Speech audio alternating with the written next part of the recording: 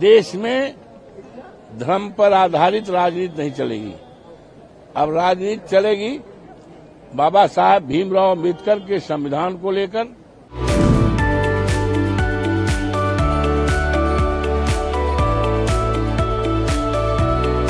मर्यादा पुरुषोत्तम राम की जो मर्यादा है, भारतीय जनता पार्टी ने उसे तोड़ा है।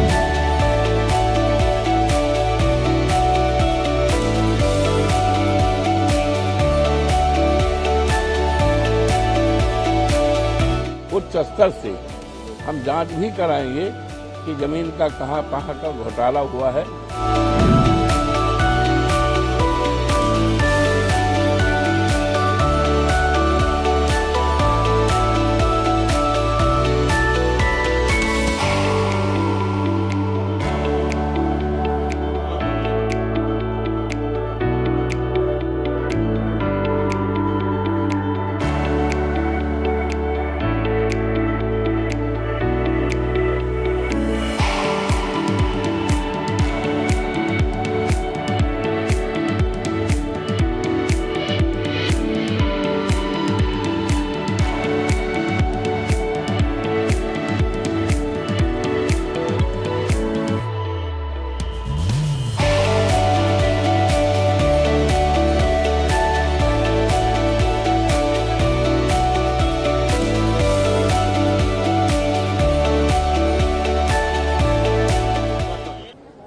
अयोध्या की महान जनता को, देवतुल्य जनता को आश्वस्त करता हूँ कि मर्यादा पुरुषोत्तम राम की जो मर्यादा है, भारतीय जनता पार्टी ने उसे तोड़ा है, उसे विखंडित किया है, लोगों के सामने परेशानी पैदा किया है, लोगों की जमीनें, लोगों की जमीनें जो है करोड़ों अरबों रुपए की कीमती जमीनें, कौड़ियों के दाम कौड़ियों के दाम बेचा है, बाहरी लोगों ने लिया है।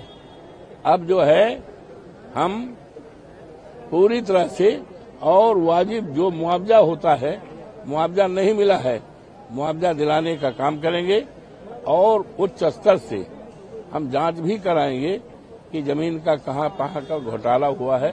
ये बड़ा मामला है और मर्यादा पुरुषोत्तम राम की धरती से और ये एक मैसेज यहाँ से गया है कि अब देश में धर्म पर आधारित राजनीति नहीं चलेगी।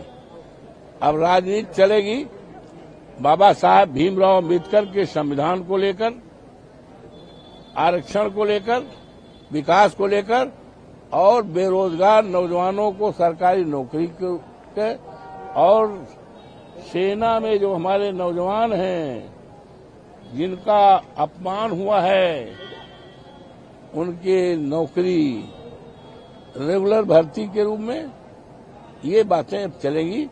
और अब ये संदेश गया है कि अब भारतीय जनता, और ये हार जो है, भारतीय जनता के विचारों की हार है, सांप्रदायिकता की हार है।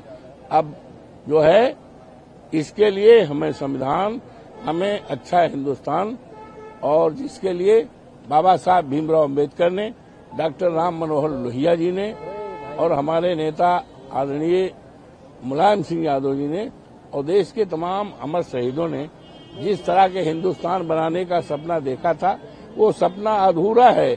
हमें एक मज़बूत राष्ट्र और खुशहाल राष्ट्र बनाना है।